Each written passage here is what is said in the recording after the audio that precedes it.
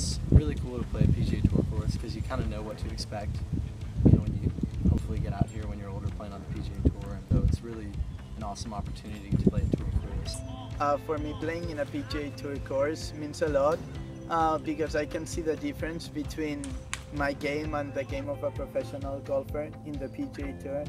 Uh, I really like coming to a course like this. It's just fun to be here. It's a good atmosphere. And, uh, fun to see the juniors tested like this because there are a lot of really good players. We love to see them on golf courses that we know are, are a good challenge. I think it's a big learning experience. It gives something for him to look forward to in the future. I know it's it's awesome that you can play a golf course that you can watch on TV and you can hit the shots that the pros hit and kind of measure yourself up against them. Um, you get to watch all the guys here, and you kind of picture playing the shots, and uh, you know, one day playing in the tour event. So, uh, you know, I mean, obviously it's, it's not the tour event, but it's uh, it's about as close as we get in junior golf.